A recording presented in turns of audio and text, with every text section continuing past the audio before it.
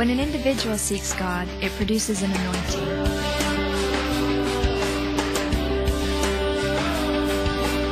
But when a generation seeks God, it births an awakening.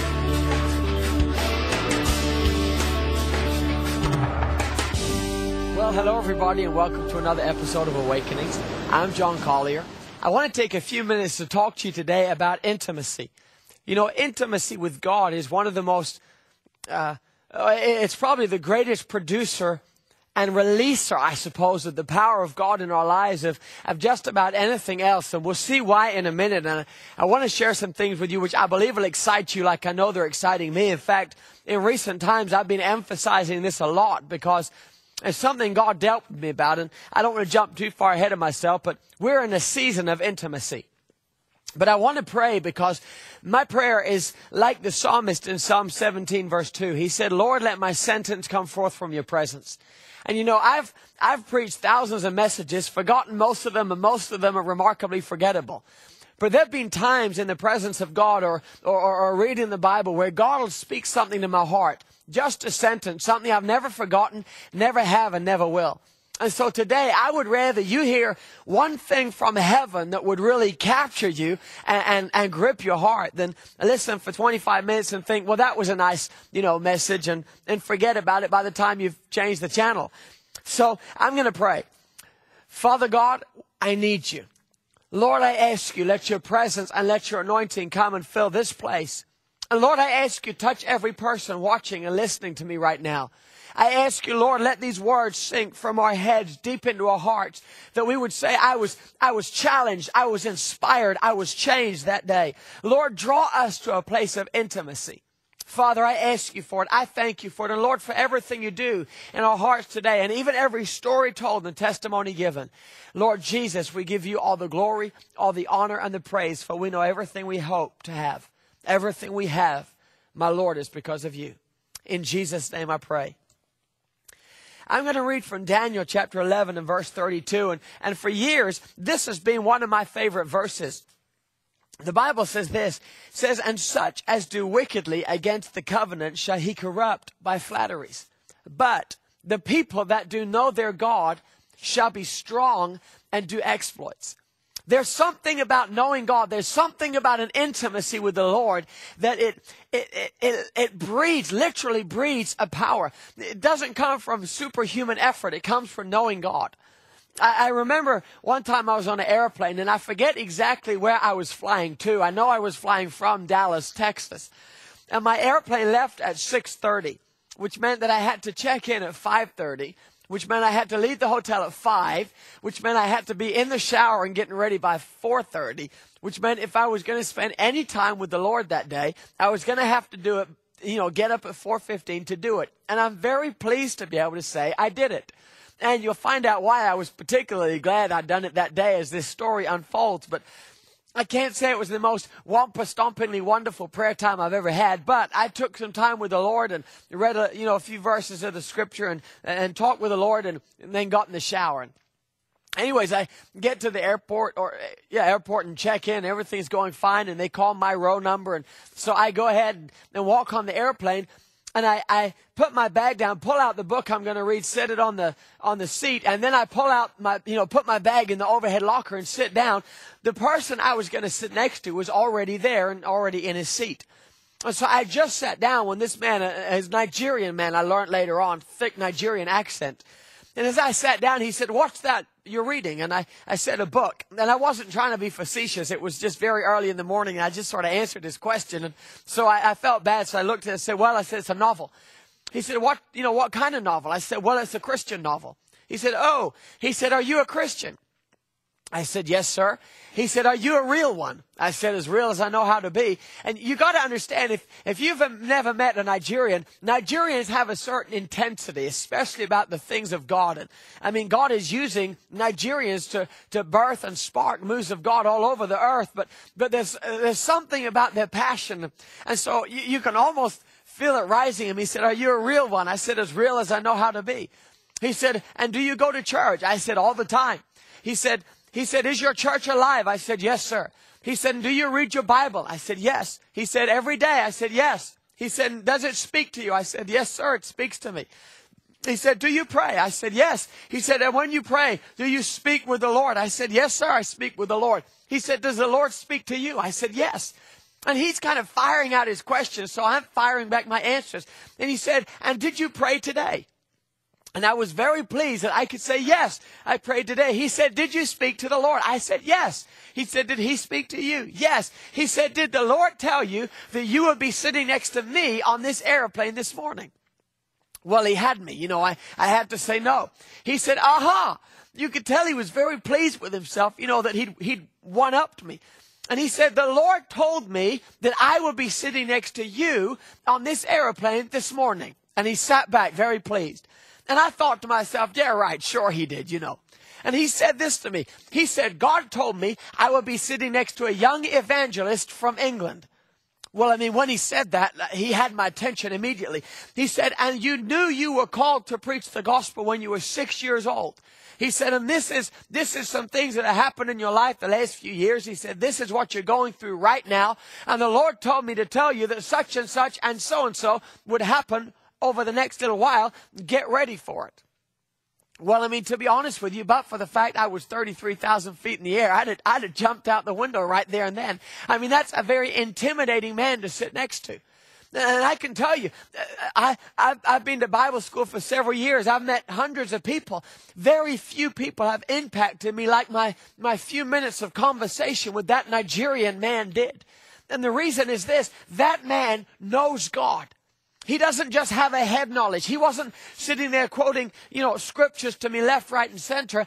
That man knew God. He'd spoken to God and God has spoken to him. And it's probably been three or four years now since I met that man and we had that conversation, but I don't think I will ever forget my time with him.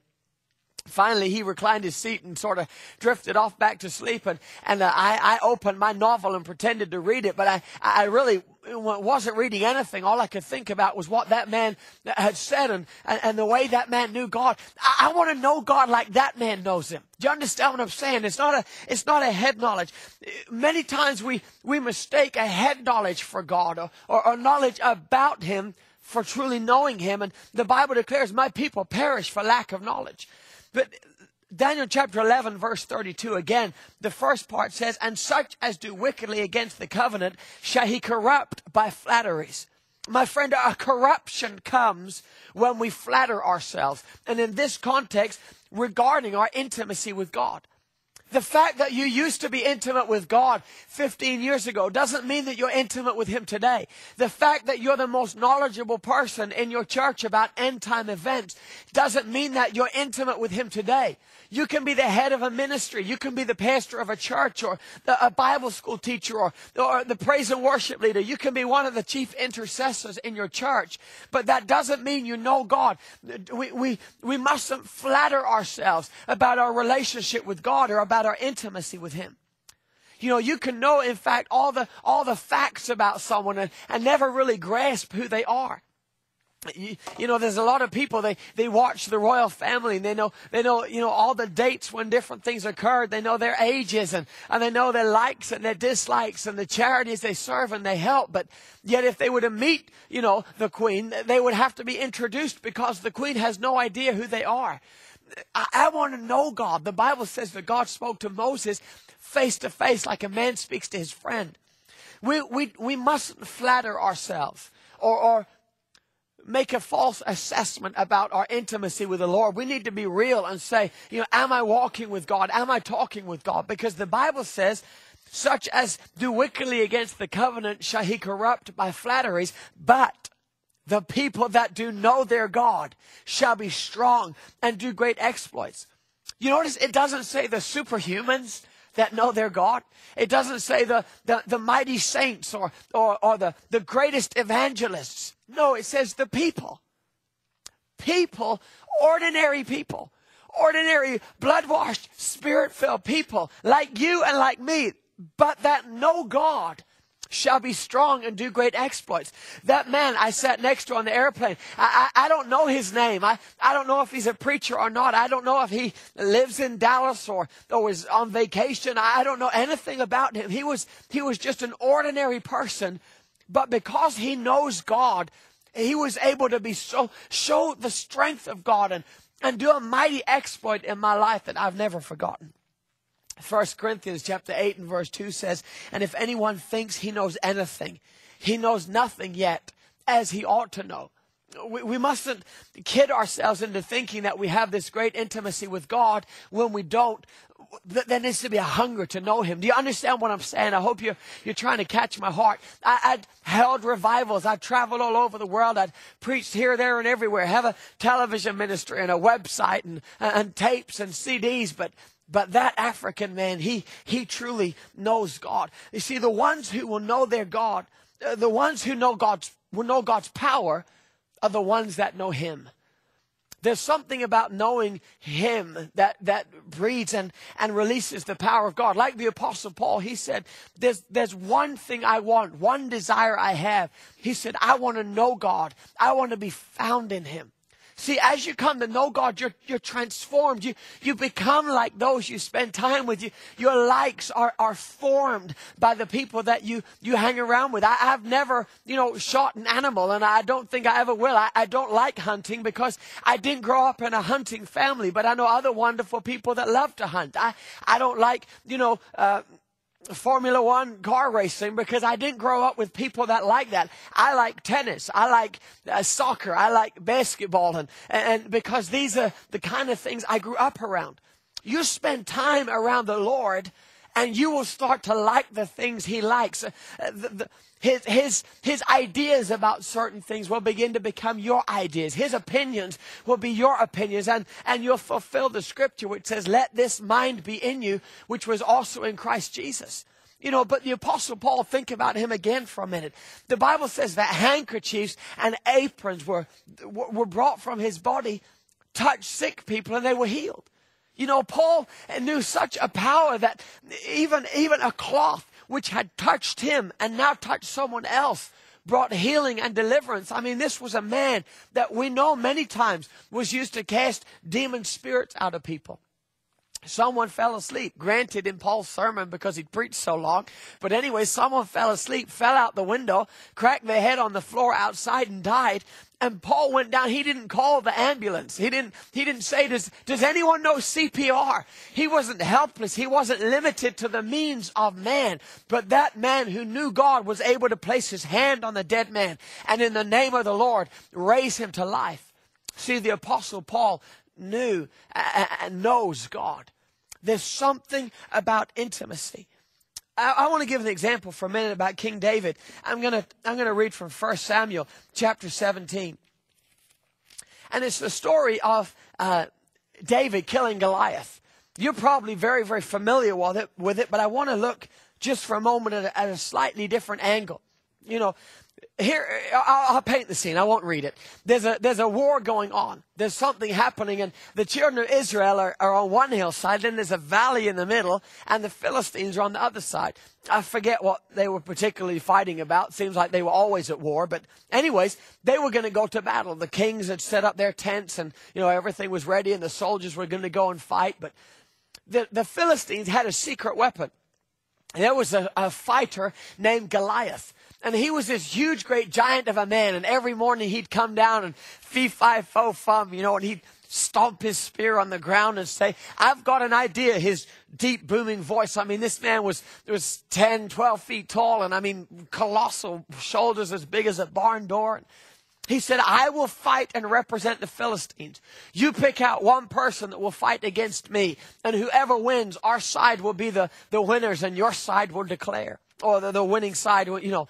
And so this is going on every day, bringing great embarrassment to the children of Israel and their soldiers, and especially the King Saul. I mean, really, he should have been the one to go and fight against Goliath because he was anointed and appointed king of Israel because he was bigger and taller than anyone else.